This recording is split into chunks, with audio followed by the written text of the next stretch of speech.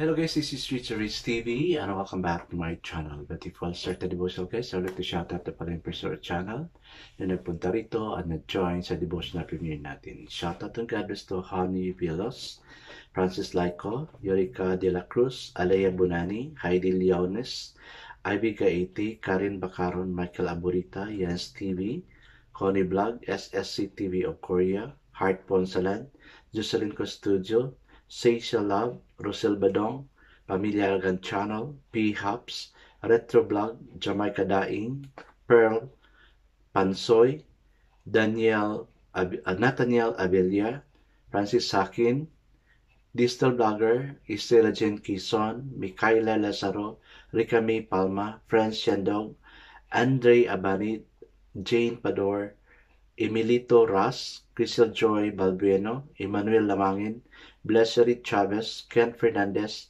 J.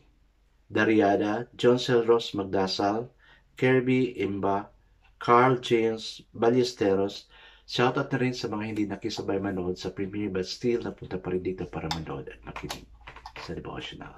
God bless us all, guys.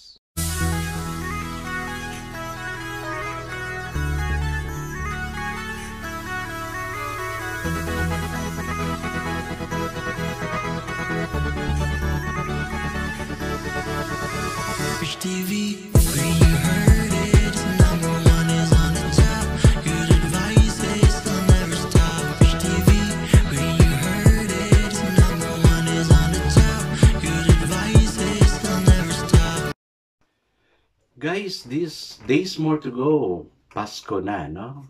So, grabe na talaga yung preparation natin, ano? Ano ba yung mga plano ninyo na gagawin para sa uh, Christmas Eve, no? In celebration for God's birthday. Sana meron para ma-enjoy tayo, no? Ma-enjoy yung family, together with uh, mga friends, kung sino man yun, no? Invite me also so I can go to your to your houses and eat, no? Biro lang. Okay, so I'm far, no? I'm here in Cagayan de Oro, but uh, uh, I, I just stay here in Cagayan pag uh, walang klase, no? I guess it's not proceed to our devotional. Let's open the Bible to Psalms 119, verses 105 to 112. Still guys, I'm using the devotional study Bible because the words used is so simplified na maintindihan talaga natin. Okay, the word of the Lord in Psalms 119, uh, verses 105 to 112 says, Your word is a lamp to my feet and a light for my path have taken an oath and confirm it that I will follow your righteous laws. I have suffered much, preserve my life, O Lord, according to your word. Accept, O Lord, the willing praise of my mouth, and teach me your laws. Though I constantly take my life in my hands, I will not forget your laws. The wicked have set a snare for me, but I have not strayed from your precepts. Your statutes are my heritage forever. They are the joy of my heart. My heart is set on keeping your decrees to the very end. Amen and amen. I guess let's now pray. True God, that your word is a lamp unto my feet. May your word also be the lamp of the feet and to the feet of those who are here, Lord. Yes, Lord, without you being our lamp, Lord, we will really struggle. We will really stumble. But thank you that during the time na nag-stumble kami, you raise us up at pinalakan mo kami. You heal us from the pain.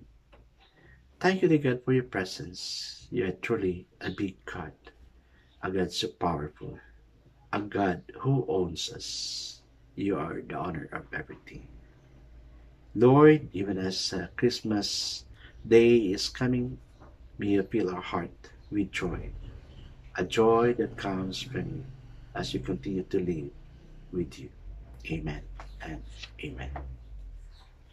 Okay guys, our focus verse for this evening is found in Psalms 119 verse 5 and it says, Your word is a lamp unto my feet and a light unto my path.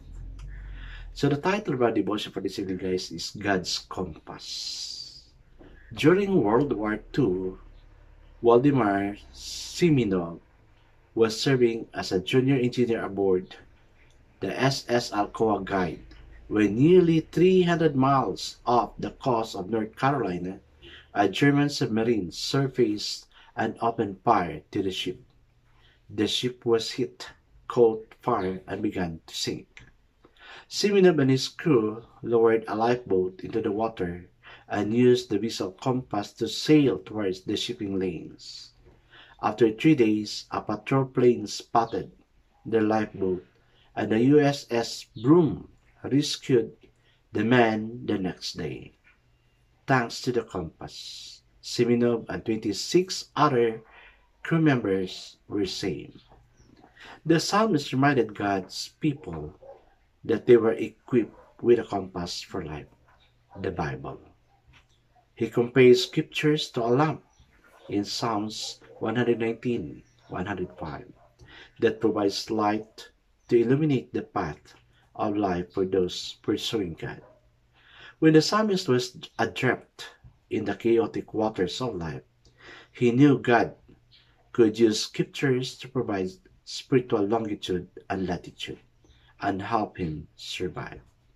Thus, he prayed that God would send us his light to direct him in life and bring him safely to the port of his holy presence in Psalms 43 3. As believers in Jesus, when we lose our way, God can guide us by the Holy Spirit and by the direction found in the Scriptures.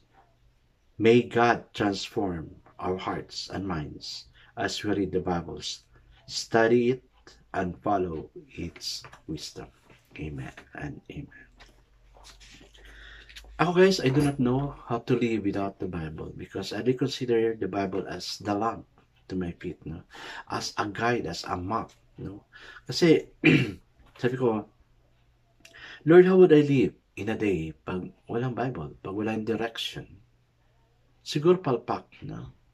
Kaya nag-experiment ako guys na one day, hindi ako nagbasa ng Bible before dressing up, no? Anong nangyari, palpak talaga yung day ko. Kaya the best thing to do is we have to start our day reading the Bible, meditate on it, and then imuni-muni natin yung word and then live by the word for that day. And then, in the evening, praise God. Evaluate yourself. Na-apply mo ba yung word na sinabi ni Lord uh, sa'yo? Nagawa mo ba? And then, praise God for it. Once you do it, guys, everything is uh, ironed out for good. Si Lord, ka, si Lord na ang bahala doon. And I know God is really working. Kaya for me, Bible is really important. It is really the compass of my life. It is no the guide of my life kung ano yung gagawin ko for the whole day. Kaya, yun. I cannot move on the whole day without reading the Bible. And I cannot also sleep without reading the Bible. Kaya, Bible for me is everything. Guys, kung wala kayong Bible, no, I know, imposible naman na wala tayong Bible. We are in a Christian nation, no? Sa school, binibigay lang yung Bible para sana, wag lang yung malik, alikabukan yung Bible, but instead, we have to read it. I guess now proceed to the two question. Have you experienced a particular verse or passage as a compass to your life in recent days? Yes, itong ano, itong verse na to na binasa natin sa Psalms 109.105, I really like this verse. No? Your word is a lamp unto my feet and a light unto my path. O, di ba? Para kang nagdadala ng flashlight, no? Yung flashlight na hindi napupundi kasi God is the source of the light of that flashlight. So, yun, no? We can just move on, although uh, the surrounding is very dark, since God is your light, then uh, you can just move on. Second question When are you tempted not to follow the direction, the compass of Scripture gives? Ah, yun ang sinabi ko na one thing, no? One time, hindi ko na-follow yung sinasabi ng Bible. So, ang nangyari, palpak talaga yung ko. Kaya, mas mainam talaga na Let's read the Bible, follow what is the instruction, follow what God has told you to do. I guess let's not pray. Jesus, thank you that when I'm tempted or we are tempted to drift away, the wisdom of Scripture helps bring us back. Amen and amen. Yes, guys, let's make the Bible as the compass for our life. God bless us all, guys, because in our world, shall bless us 10 times better. This is again, Richard TV. Kita-kita tayo muli sa muli. Paalam!